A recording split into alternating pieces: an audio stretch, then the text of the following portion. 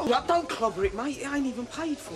Look, do you want it open or don't you? Well, yeah, of course I want it open, but I don't want it totally wet. Could Ali do his pieces?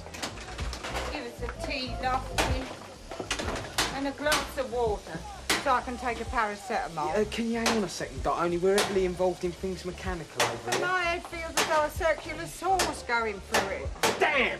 Language.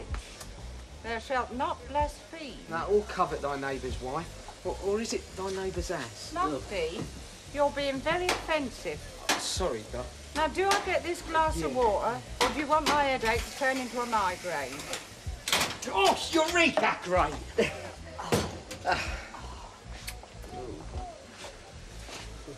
Thanks. I hope you're reducing the price of those. Oh, gold. I'm sorry, Loft. I think you'll have to get a bloke in. Yeah, great. Nice one, Arthur. Well, I did my best. Yeah, thanks a lot. Yeah, well, I'll, I'll get back to Pauline then. How's your back, Dot? Oh, don't ask. Unless you've got two hours to spare. I'm seeing Legg this morning. That's why I've got the headache. Nerves. I'll leave you to it then, Loft. Ta-da.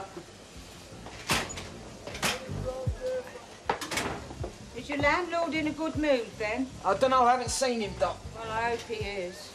Because I don't want to be palmed off with a lot of old guff about being psychosomatic.